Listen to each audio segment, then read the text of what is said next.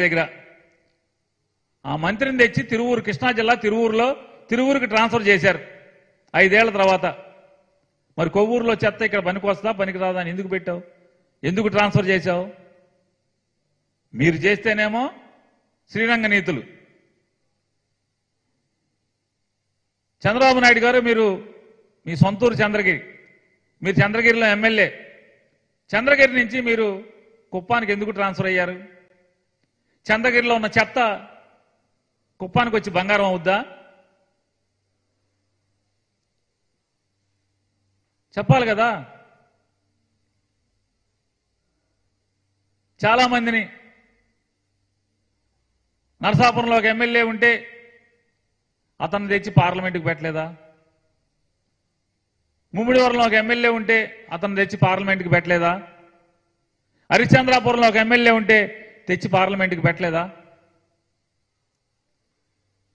అట్లాగే ఎంతమంది పార్లమెంట్ సభ్యుల్ని ఎమ్మెల్యేగా మీరు పెట్టలేదు ట్రాన్స్ఫర్ చేయలేదు?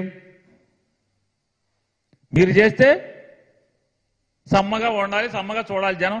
ఆహా ఓహో ఈయన అసలు పరిపాలనా దక్షుడు రాజనీతిజ్ఞుడు అసలు రాజకీయాల్లో రాజకీయ పండితుడు అని చెప్పనేమో మేము మాత్రం భజన చేయాలి జనం. జగన్మోహన్ రెడ్డి గారు ఈ రకమైనటువంటి సర్దుబాట్లు చేస్తే చెత్త బంగారం కుప్ప ఇవన్నీ మాట్లాడతాం. మీరు చేసిందేమో బాగా రంజుగా మీ అందరం చూడాలి. మీదకి ఎక్కించుకోవాలి మీరు ఎక్కడ తీసుకొస్తే అక్కడికి. ఆయన సూపర్ సిక్స్ అంట కొత్తగా కనిపెట్టాడంట. డ్వాకరాలు నేనే కనిపెట్టా. దీపాన్ని నేనే కనిపెట్టా. ఆడవాళ్ళకి ఈ రాష్ట్రంలోని ప్రతి ఆడపిల్లకి నెలకి పదిహేను వందల రూపాయలు ఇస్తానని చెప్పి చెప్తున్నాడు. మూడు గ్యాస్ బండలు ఇస్తాడంట. మూడు గ్యాస్ బండలు ఉచితంగా ఇస్తాడంట. నెలకి పదిహేను వందలు డబ్బులు ఇస్తాడంట.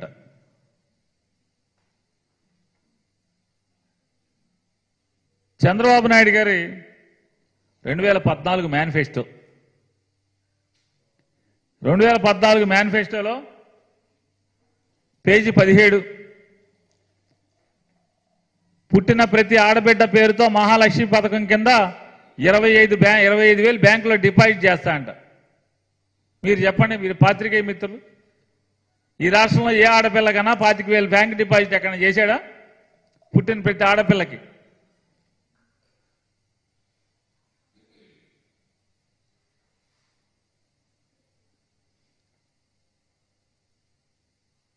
పేద మహిళలందరికీ స్మార్ట్ సెల్ ఫోన్లు ఉచితంగా ఇస్తాం. మేనిఫెస్టో పద్నాలుగులో ఏ ఒక్క ఆడపిల్లకన్నా ఈ రాష్ట్రంలో ఒక్క సెల్ ఫోన్ ఇచ్చాడా? డ్వాక్రా అక్క చెల్లెలందరికీ సెల్ ఫోన్ ఇస్తానని ఎన్నికల మేనిఫెస్టోలో చెప్పాడు. ఏ ఒక్క ఆడపిల్లకన్నా ఒక్క సెల్ ఫోన్ ఎక్కడ ఇచ్చాడా? ఇచ్చిన పాపాన పోలేదు. సంవత్సరానికి ఒక కుటుంబానికి పన్నెండు గ్యాస్ సిలిండర్లు ఒక్కో సిలిండర్కు వంద రూపాయల సబ్సిడీతో ఆధార్ కార్డుతో సంబంధం లేకుండా సరఫరా చేస్తాం. ఈ పోయే మాటలు ఈ మేనిఫెస్టోలో ఎవడు పెట్టాడు? మళ్ళీ ఇప్పుడు మూడు మాటలు ఇస్తాడంట. ఈ చంద్రబాబు